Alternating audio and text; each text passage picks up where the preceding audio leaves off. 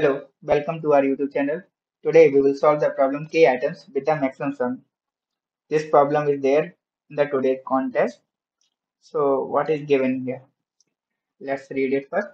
There is a bag that consists of items. Each item has a number 1, 0, minus 1 written on it. You are given four non-negative integers that are num ones, num zeros, num negative ones, and k.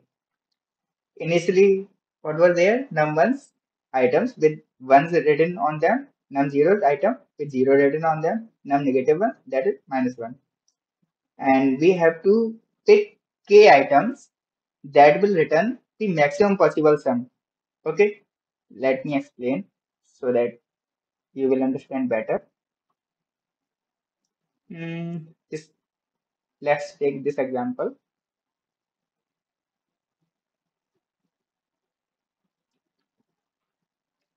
So what is given?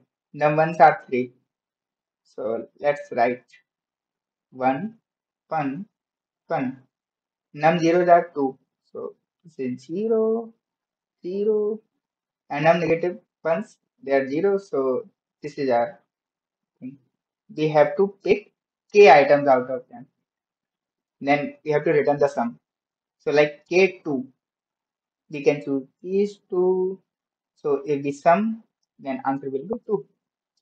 Fine. And if we take this example, here we have three ones. Okay, that's right. One, one, one. Num zero is 2. Now we have to choose four items. Okay, k is equal to 4 here. So these three and one this one. Okay, so answer will be 3 only. Let's make it little bit difficult. And instead of the 0 if we have 2 okay? So what will be the array? It will be the 1 1 1 0 0 minus 1 minus 1 okay cool now if we increase our k to 6 okay? So what we have to choose? What will be the answer? Answer will be we take these three these two and this one also. Then we have six items. That is the ma maximum possible sum. So what will be the answer? 3 and this minus 1 answer will be 2 cool so what will be the approach to solve this question? I will explain by showing the code. You can see the code and you will understand easily. Okay. Um,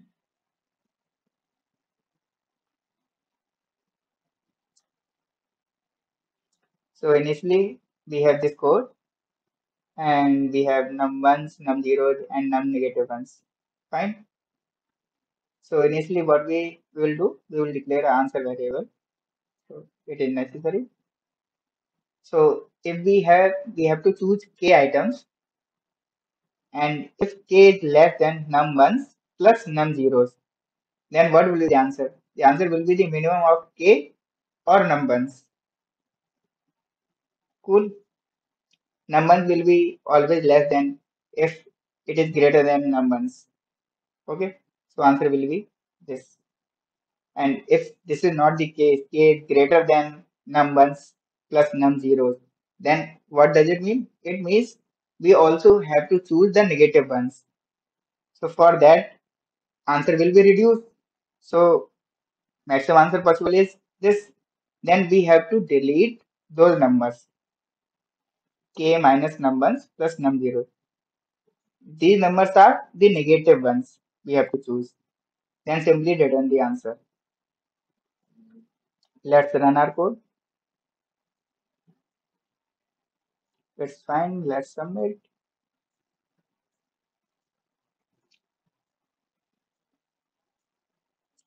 It's perfectly fine. Thank you for watching this video.